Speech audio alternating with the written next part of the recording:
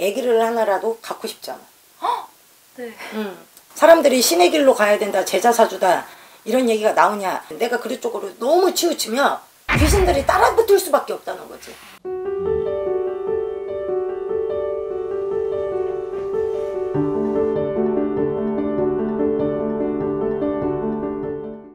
들어오세요.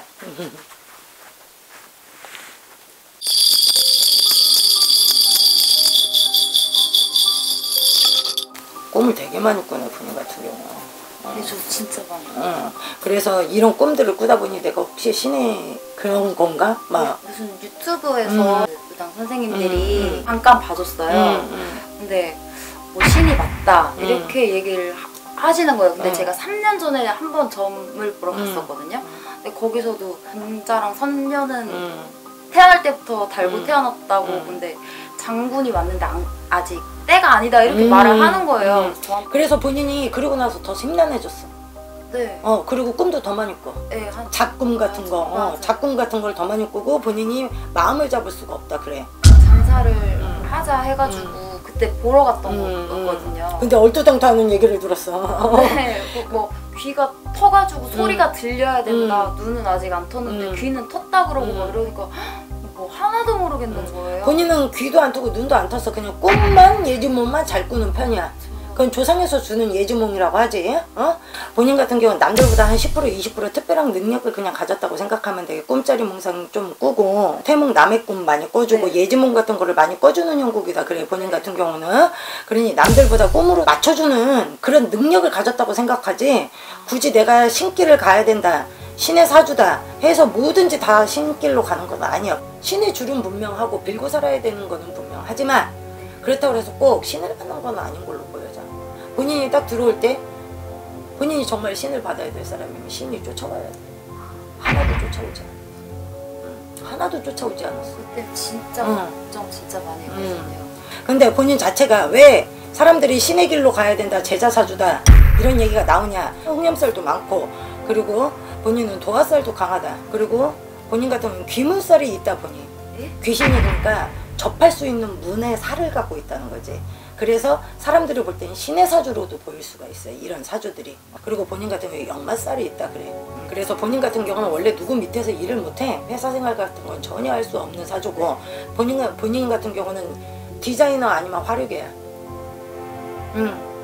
그런 쪽으로 본인은 해, 해야 되는 사주야. 본인 그렇지 않아? 네, 그 말도 들어요. 음. 본인, 해야 음. 그런 거 해야. 어. 그 전에 뭐 했어? 음. 바에서 실장 같은 음. 것도 하고 예. 음, 어. 화류계 쪽다 화류계네. 어, 서비스업 화류계. 그리고 다른 거를 해봤자 성이 안 차. 본인 자체는 머리는 비상하나 공부 머리는 없어. 그냥 내 장사에서 내가 풀어먹는 사주다 그래. 본인 자체가. 본인 같은 경우는 용궁에 벌전이 조금 있거든. 물에 벌전이 조금 있다 그래. 그러니까 비리고 누리고 그런 걸 먹은 사람이 있나 봐. 집안에 그런 누린 부정이 들었다 그래. 본인이 신의 줄이다 보니 타는 거야 몸을. 그러니까 집안의 업보를 본인이 다 책임진다고 보면 돼. 제가 물 받는 거예요. 어, 어, 벌 받는다고 생각하면 안 되고 본인이 빌고 살아야 되는 사주다 보니 어. 어 본인한테 다 오는 거야 안 좋은 것들이.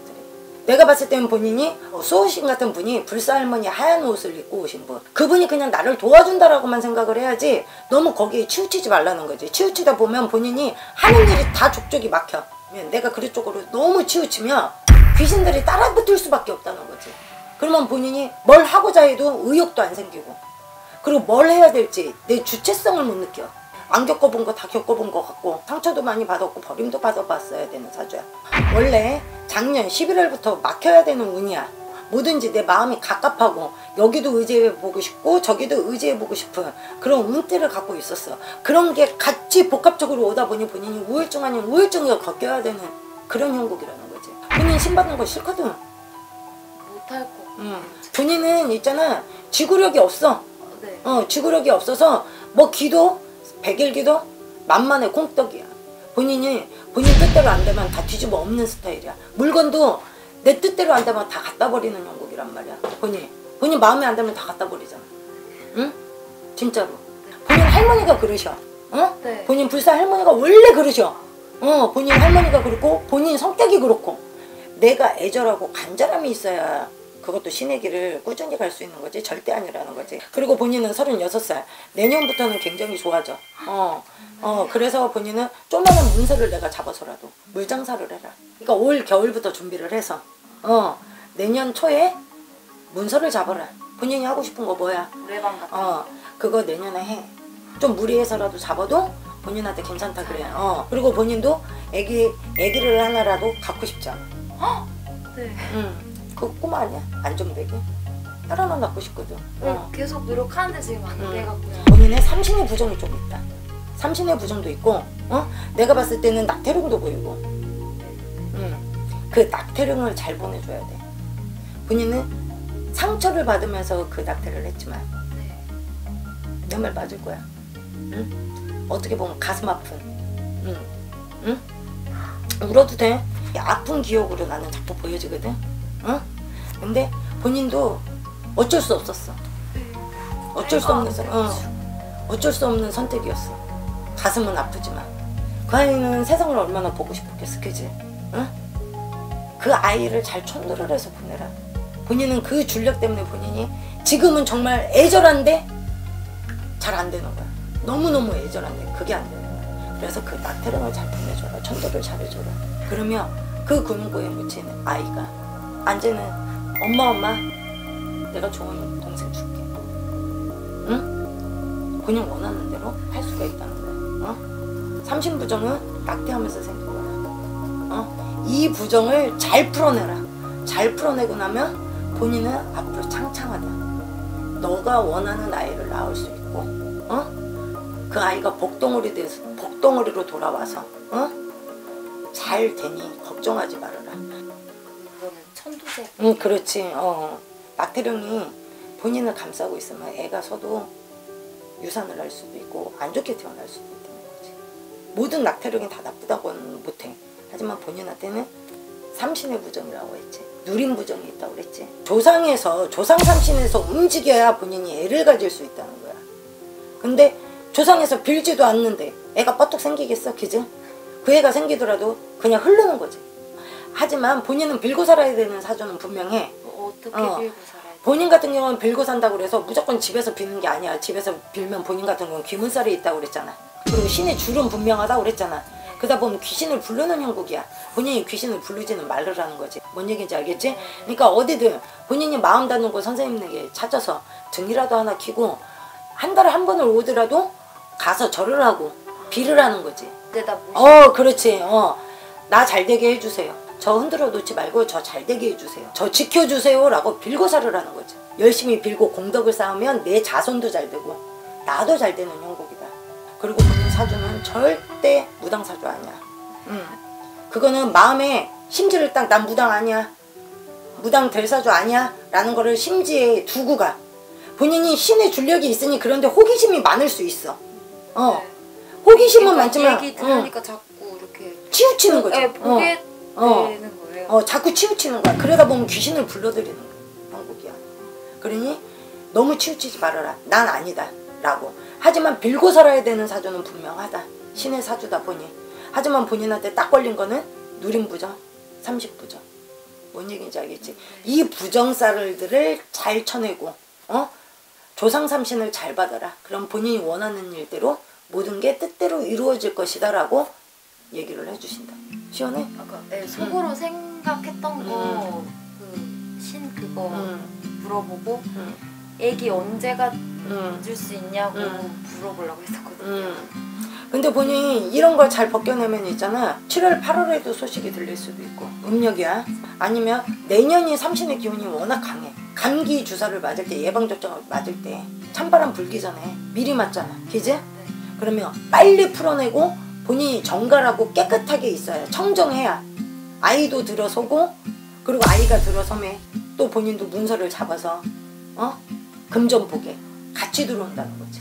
그리고 남편분도 사업적이나 뭘로나 어? 네. 다잘 된다는 거지. 이런 부정만 잘 가셔줘라.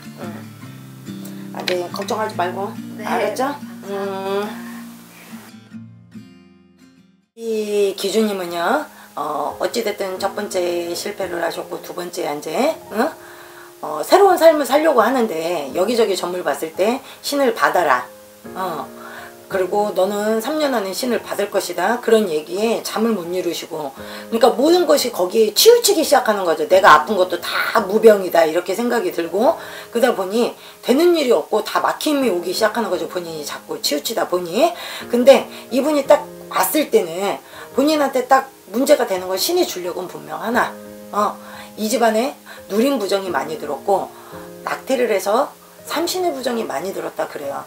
그래서 이 집안은 이 아이는 신의 기운은 강하지만 받을 신까지는 아니고 빌고 살아야 되는 사주도 분명하고 예지몽도 잘 꾸는 자손 얘기는 분명하지만 어? 신의 길을 안 가도 되고 꿈자리 몽상 이런 거는 내가 남들보다 조금 특별한 능력을 가졌고 어? 내 조상에서 꿈을 꿔주는 걸 나 라고 생각을 하시면서 사시면 참 좋겠고요. 이분은 아기를 참 갖고 싶어 하시거든요. 근데 그 아기를 가지려면은 이 삼신의 부정을 없애야 된다는 거죠. 이 삼신 부정 들었던 거, 누림 부정 들었던 거, 낙태령, 태아령들을 잘 천도해서 보내고 나면 이분은 꿈자리 몽상도 더 편안해지고 본인이 하고자 하는 사업, 장사 같은 것도 끊임없이 잘 갈 수 있는 걸로 보여져요.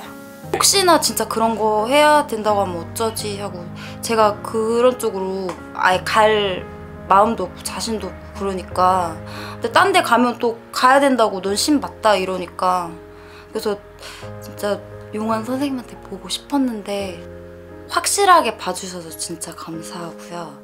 그리고 선생님이 너무 그쪽으로 치우치지 말고 아니니까 마음 이렇게 긍정적으로 먹고 생활하라고 했으니까 그것도 그렇게 긍정적으로 살아야 될 것 같고 또 뭐 이제 안 좋은 거 좀 가르쳐 주셨으니까 그거는 제가 좀 생각해갖고 이제 해야 될 것 같아요.